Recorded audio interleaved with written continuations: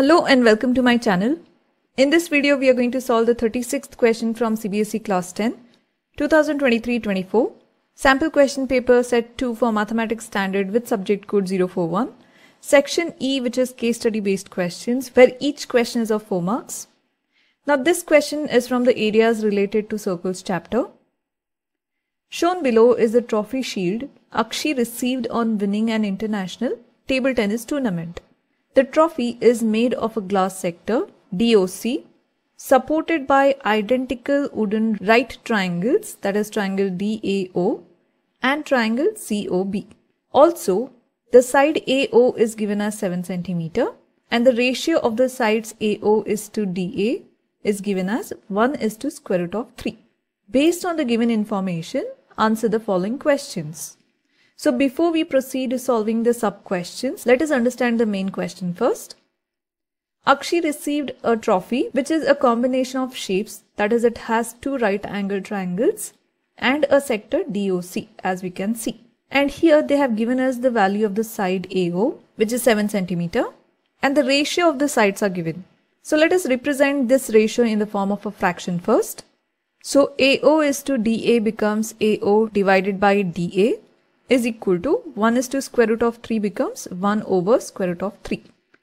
Let us now cross multiply these two that is square root of 3 multiplies with AO and DA multiplies with 1 and we get DA multiplies with 1 giving us DA is equal to AO times square root of 3. Since the value of AO was given as 7 centimeter, so we write here 7 times square root of 3. So that is the value of the side DA. Now once we have got the value of this side, let us proceed to the first sub question. Find the angle DOC. That is this angle we need to find out. Now let us proceed by considering the angle DOA as angle theta. So we have written here angle DOA is equal to theta and this is also equal to angle COB because in the question they had mentioned that both the triangles are absolutely identical. So these two angles are theta. Now let us try to find out the value of theta using one of the trigonometric ratios. So we can use here tan trigonometric ratio because we have the opposite side that is 7 root 3 is opposite to the angle theta. So we will consider this as opposite side and here we have the adjacent side as 7. So we can write here tan theta is equal to opposite side over the adjacent side. So opposite side we got it as dA and adjacent side we have AO. So substituting their respective values we get 7 root 3 over 7. Now 7 from the numerator divides the 7 from the denominator. So we are left with tan theta equal to root 3. Now we also know that tan of 60 degree will give us square root of 3 which means we have the value of theta here as 60 degree. Now once we know that the value of theta is 60 degree, so let us just write here 60 degree over here and 60 degree over here. So now we can easily find out the value of angle DOC because AOB is a straight line making a total angle of 180 degree. So we are going to subtract 60 degree and 60 degree from 180 degree to get angle DOC. So let me write here angle DOC is equal to 180 degree minus angle DOA plus angle COB. And since we got their values as 60 degree, we write 180 minus 60 plus 60. So this is going to give us the value of angle DOC which is 180 minus 120 that is 60 degree. Now let us move on to the next sub question. Find the area of the wooden triangles.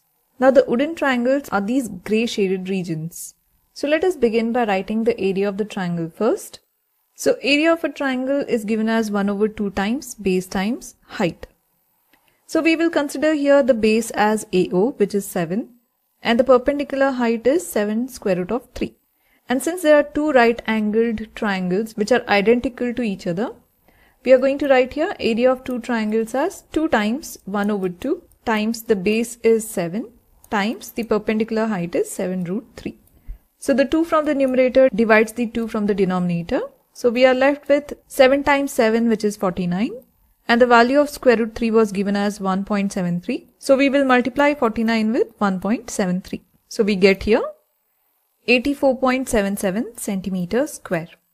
So this is the area of the wooden triangles. Now let us move on to the third sub question. Now this third sub question has an OR question as well. So either you can attempt this question or the other question. So let us begin with this one. Find the area of the shape formed by the glass portion. Now the sector represents the area of the glass portion. So if we find out the area of the sector DOC, we are finding out the area of the shape of the glass portion. So let us write down the formula for area of sector DOC. So we have written here area of the shape formed by the glass portion is nothing but area of the sector DOC and the formula for sector area is theta over 360 times pi r square where theta represents the central angle of the sector and r represents the radius of the sector. So here in part 1 of this question we had already got the central angle theta which was 60 degree for the sector now we have to find out what is the radius of the sector. Now DO and CO are the radius of the sector. Let us make use of another trigonometric ratio which is cos. So in part 1 of this question we had got the value of dA as 7 root 3, AO was given as 7 and the value of theta also we had got it as 60 degree. So I have written it over here for easy reference. So since I said that we can make use of the cos trigonometric ratio, let us write cos of angle theta which is cos of 60 is the adjacent side over the hypotenuse. So adjacent side is AO for the 60 degree. So we have written the value of AO as 7 over DO. Now cos 60 value is 1 over 2 is equal to 7 over DO. Now cross multiplying on both the sides that is DO multiplies with 1 and 7 multiplies with 2. So we get the value of DO that is the radius as 14 centimeter. Now once we have got the value of the radius as 14, we just need to plug in the values in this area of sector formula. So let me write here. So the value of theta which is the central angle we have got here as 60 degree. So 60 over 360 times since the value of pi is not given take it as 22 over 7 times the radius square radius we got it as 14. So I have written here as 14 times 14. Now here 60 divides the 360. So 60 1 times and 66 times is 360. Now 7 1 times is 7 and 7 2 times is 14. Now again 2 divides the 6 that is 2 1 times and 2 3 times is 6. Now this is not further reducible. So we are going to multiply the 22 and the 14 in the numerator and we get 308 in the numerator divided by 3. So dividing these two will get a value of 102.67. So this is the area of the sector. Since it is the area, the unit is centimeter square. Now let us move on to the OR question. If Akshi wants to decorate the boundary of the glass portion with glitter tape, then find the length of the tape she needs. Since here the boundary or the length is mentioned, which means we need to find out the perimeter of the glass portion. So the perimeter of the glass portion includes the radii that is DO, CO and the arc length DC. So the sum of all these sides will give us the boundary or the perimeter of the glass portion. So let me write here. Boundary of the glass portion is the radii DO plus the radii CO plus the arc length DC. Now we have already found out the value of the radii in the previous question that is by using the cos trigonometric ratio. So I'm going to use the same values over here which was 14. So let us concentrate in finding out the arc length DC. So the formula is theta over 360 times 2 times pi times r. Theta is the central angle of the sector which we had already got it as 60 degree and the radius we had got in the previous question which was 14. So let us substitute over here. So 60 over 360 times 2 times pi is taken as 22 over 7 times 14. Now 60 divides the 360 that is 61 times and 66 times. And we have 7 and 14 that is 7 1 times and 7 2 times. And 2 and 6 divides each other that is 2 1 times and 2 3 times. So this is not further reducible. So we get in the numerator 2 times 22 which is 44 divided by 3. So this will give us a value of 14.67. So this is going to be centimeters since this is the length.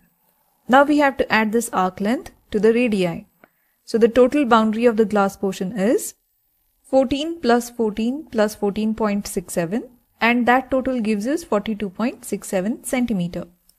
So this is the total perimeter or boundary of the glass portion.